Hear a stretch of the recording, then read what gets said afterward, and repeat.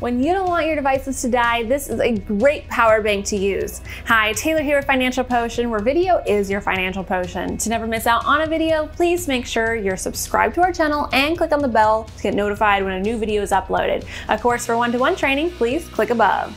The Power Bank RAV Power portable charger has been such a great tool for us lately. It comes in this nice portable pouch and on the side you'll see that there are three USB Type A ports that can charge up to three devices simultaneously with its 26,800 milliamp per hour battery. You can always see how much battery life the RAV Power has by clicking on the button and seeing the number of blue lights that come on. It does not have an on and off switch itself. It will just turn on when it's connected to a device and it will turn off when it's not connected and not in use.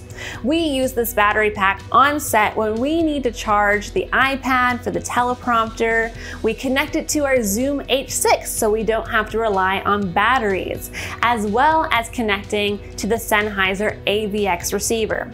Of course, it could also charge our cell phones at the same time if we needed. Uh, however, those three items are what we use this device most often for. If you'd like to purchase this power bank, they run between $49.99 to $52 depending on the color you want. And you can find the link to it in the description. And that will bring you to our video equipment recommendation page where there you can find it at the bottom under small cords and accessories.